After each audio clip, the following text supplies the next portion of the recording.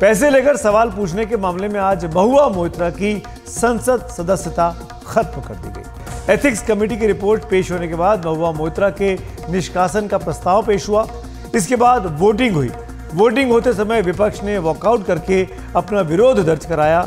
करीब 70 मिनट तक चर्चा के बाद लोकसभा ने महुआ मोहित्रा की संसद सदस्यता छीनने के प्रस्ताव को ध्वनि मत से मंजूर कर लिया।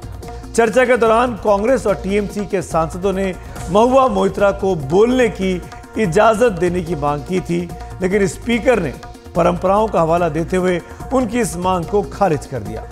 लोकसभा सदस्यता जाने के बाद महुआ मोहित्रा ने कहा कि एथिक्स कमेटी के पास निष्कासित करने का कोई अधिकार नहीं होता।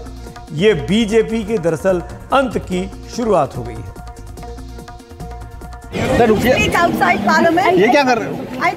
all the, my colleagues as Bro, part of mic the La India यार। Alliance. I thank Bro, my mic colleagues, लगाओ। everybody for standing by me.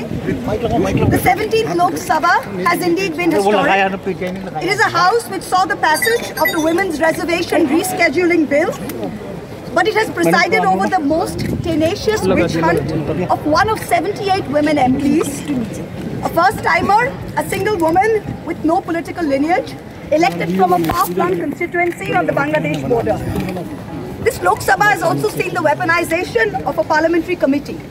Ironically, the Ethics Committee, which was set up to serve as a moral compass for members.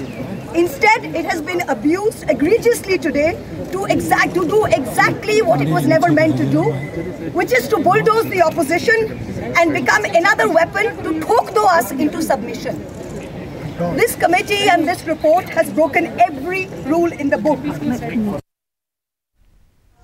Paschim Bengal की मुख्यमंत्री ममता बनर्जी ने महुआ मोहित्रा का बचाव करते हुए कहा कि हम महुआ के साथ हैं ये लोकतंत्र के लिए दुर्भाग्यपूर्ण है।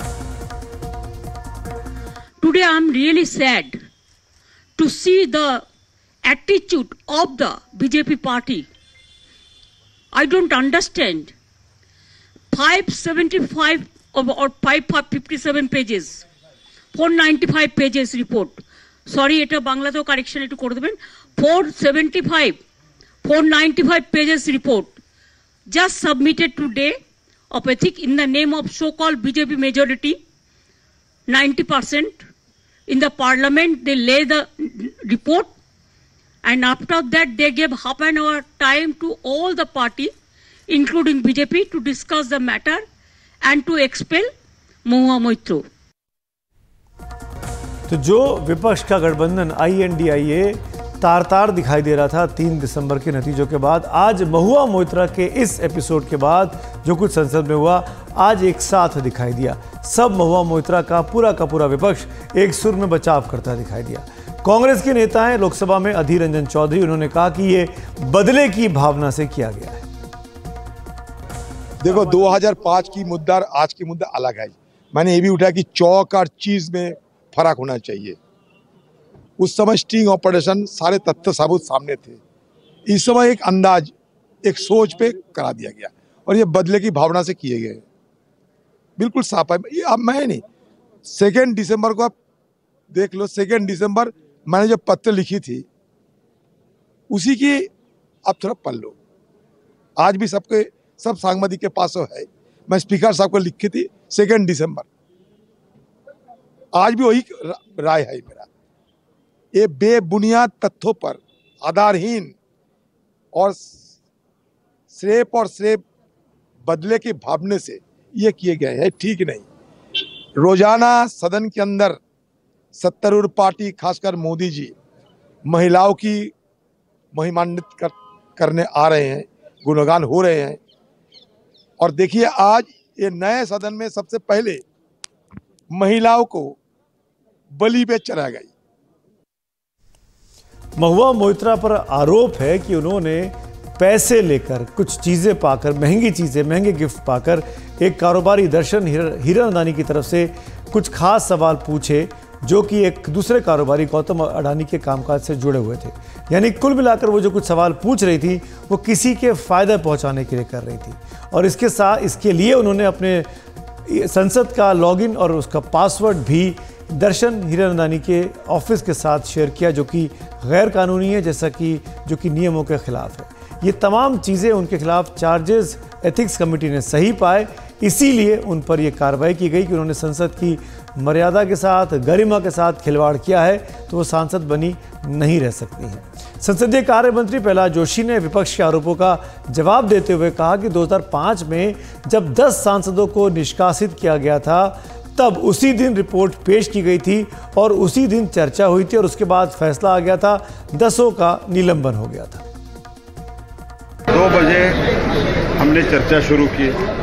उससे पहले 12 बजे रिपोर्ट पेश किया गया और रिपोर्ट पेश करने के बाद तुरंत दो मिनट में पोर्टल पर, जो अभी पेपरलेस हमने ई विधान पोर्टल के थ्रू पेपरलेस किया है, तुरंत हमने अपलोड किया है। ऑपरेशनल पार्ट जो है, वो 15-20 पेज का है। तो मुझे भी 15-20 पेज वो जब प्रेजेंट हुआ, तब भी मैं मैं भी पढ़ा। और दूसरी बात इसमें जो घटना घटी है, उसने तो स्वयं उन्होंने स्वीकारा है।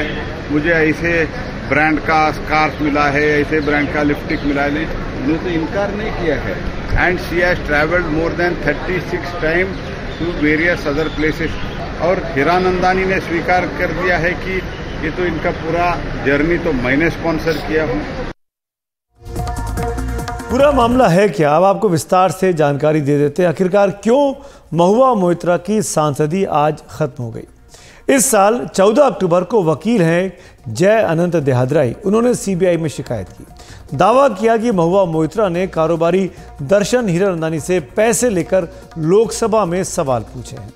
इस शिकायत के आधार पर 15 अक्टूबर को बीजेपी के सांसद निशिकांत दुबे ने लोकसभा अध्यक्ष से कार्रवाई की मांग की।